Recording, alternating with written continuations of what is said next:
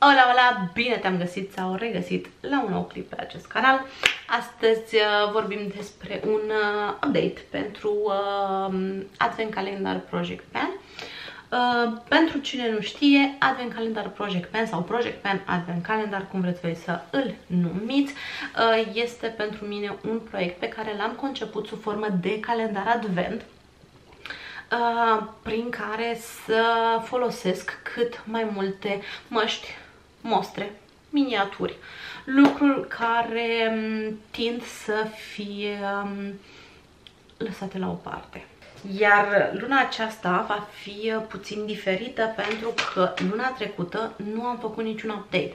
Și atunci, practic, luna trecută trebuia să deschid un nou pliculeț și luna asta trebuia să deschid un nou pliculeț, așa că în clipul de astăzi voi deschide două pliculețe um, și într-adevăr voi avea ceva mai multe produse de folosit dar aia e, am spus deja că dacă nu mi-ating scopul, produsele merg mai departe. Și hai să începem cu pliculețul precedent. Singurul produs pe care nu l-am terminat și care va merge în continuare cu mine și nu este din pliculețul acesta, ci este din luna precedentă. Este de la Drunk Elephant uh, uleiul cu retinol, are 5 ml, însă eu nu folosesc retinol foarte des, îl folosesc cam o dată la o săptămână, de două ori pe săptămână, depinde de perioade și depinde de cum se simte tenul meu, pentru că, vedeți, de exemplu, acum are o ceva sensibilitate, o roșeață, o nu știu ce, nu-i pot pune retinol. Uh, deci, uh, totul este în funcție de el, plus că retinolul uh, este un produs pe care îl folosesc într-o cantitate foarte mică și atunci, da, mai am cam jumătate din el. Deci uh, rămâne în continuare cu mine. Mai departe am terminat și uh, fiola asta de la Safe, Advance cu Q10. V-am spus și în clipul precedent că îmi pare rău că nu le-am folosit pe toate pe timp de 7 zile pentru a vedea dacă chiar fac o diferență sau nu. Așa, folosindu-le una pe lună, este mai complicat să văd ce și cum. Um, de la Lancome uh, Renergy Multilift Ultra este o cremă pe care din nou am folosit-o și luna trecută. Este ok, dar nimic ce să mă dea pe spate. Un patch de la Balea pentru uh, porii de pe nas și a făcut treaba destul de bine.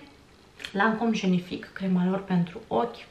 Din nou, v-am mai vorbit despre ea, nu mi se pare nimic interesant, la fel și uh, Advanced Genific, uh, crem, uh, serul lor uh, foarte lăudat. Uh, în schimb, au uh, un alt ser, uh, acela cu 3 uh, cu vitamina C, niacinamide și cred că are acid ferulic, ceva seamănă mult cu cel de la um, SkinCeutical, Uh, mi se pare că este ceva mai diferit față de celelalte și uh, vine cu ceva în plus, face ceva diferit pentru tenul meu, bineînțeles.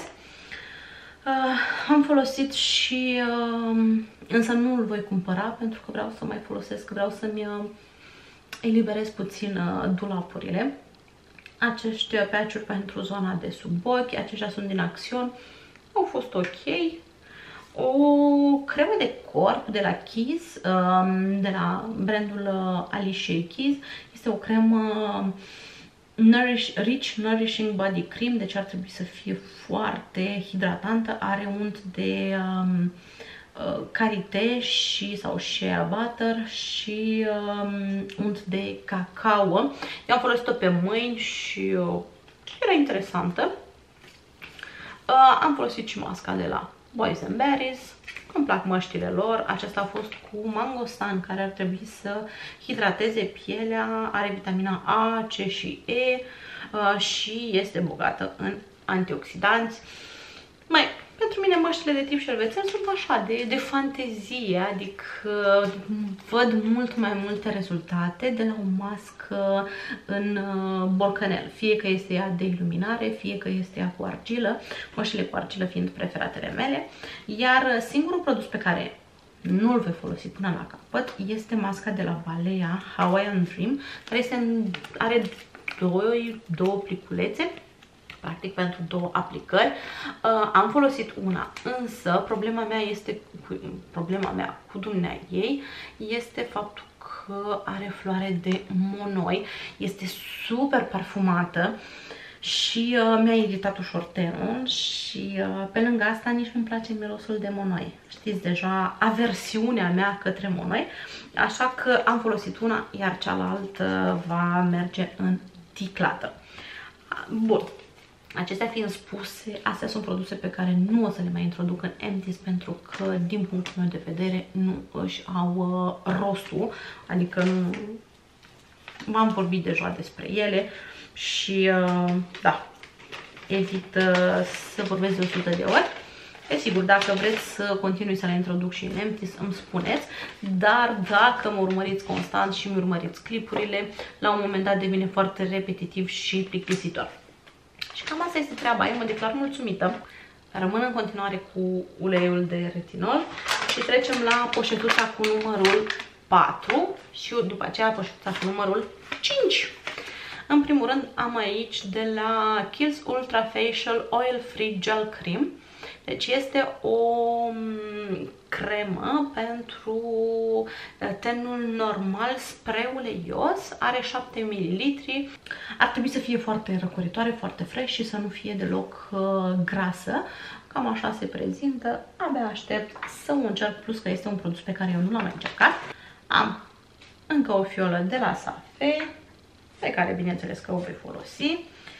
Um, din nou, Multilift de la Lancome. Cumpărasem eu odată niște kituri de descoperire cu produse de la Lancome, mai multe de pe Notino, au diverse kituri de genul ăsta și mă așteptam să vină cu miniaturi, însă a venit cu pliculețe de genul ăsta. Uh, crema de ochi de la Lancome. Am aici un uh, booster de hidratare de la Gamarde ar trebui să fie pentru piele delicată, deshidratată. Asta este bun atunci când um, nu am eu grijă ce fac cu retinolul și cu alte nebunii. Uh, și este o chestie foarte mișto. Pe pliculeț, pe spate, scrie 4 zile de la deschidere. Foarte mișto treaba asta. Încă un paci pentru nas de la Balea. De la Barnaghen am uh, această cremă pentru corp Uh, body Balm, spun ei, All Over Rescue Body Balm. Nu am încercat niciun produs de la Barnaghen, știu că sunt foarte lăudate și uh, chiar îmi doresc să încerc. Uh, mai am și patch pentru ochi. Am uh, masca aceasta de la Balea cu vitamina C, ar trebui cu ea, ar trebui să ne împăcăm bine. Am două pliculețe și încă o mască de la Boys Berries cu lici de această dată care ar trebui să ilumineze, să, din nou este uh, a Deep Penetrating Hydration, deci ar trebui să hidrateze până unde vreți voi, până în toate adâncurile, dar da, este o mască pentru iluminare și cam acestea sunt produsele din pliculețul cu numărul 4. Și hai să vedem și uh, produsele din pliculețul cu numărul 5. Din nou, am scos totul și să trecem la treabă. Așa. Încă, a, acesta este un Renerginui Multiglow, deci ar trebui să fie o, o cremă de noapte de la Lancome, foarte hidratantă. Abia aștept să văd dacă așa este. De la A New Skin Reset Plumping Shot. N-am încercat niciodată, așa că mi se pare foarte interesant. Meciul pentru ochi, pentru că am pus în fiecare pliculeț încă o mască cu mangostan de la Boys Berries, uh, de la Oriflame, această mască, gel mask spun ei, cu uh, castravete și am și um, două miniaturi. Uh, una este de la Yves Rocher din gama Elixir Botanic și este un sleeping care deci este o mască de noapte, este o cremă de noapte, are 7 ml, deci ar trebui să fie ușor de folosit și un produs de la Kiehl's uh, este un uh, Powerful Straight Line Reducing and Dark Circle Diminishing Vitamin C Eye Serum. Deci are o uh, denumire cât o zi de post, plus că mai aici, aici că are și tripeptide și acid hialuronic. Um, eu și produsele de la Kiehl's nu pot spune că ne-am iubit de fiecare dată, dar de aceea mi-am și luat calendarul Advent pentru că venea cu foarte multe miniaturi și am vrut să încerc diverse produse. 3 ml pentru o cremă de ochi o să mă ajungă destul de mult timp. Așa că, da, cam, cam astea sunt produsele. Cu asta o să mă joc în următoarea lună. Um, sunt sigură că nu voi termina totul, dar uh, vom vedea ceva progres și atunci o să vă vorbesc mai multe despre produsele pe care le încerc pentru prima dată. Acestea fiind spuse, ca de obicei, aștept să ne citim în comentarii. Vă mulțumesc pentru vizionare, iar până data viitoare, v-am pupat! Pa, pa!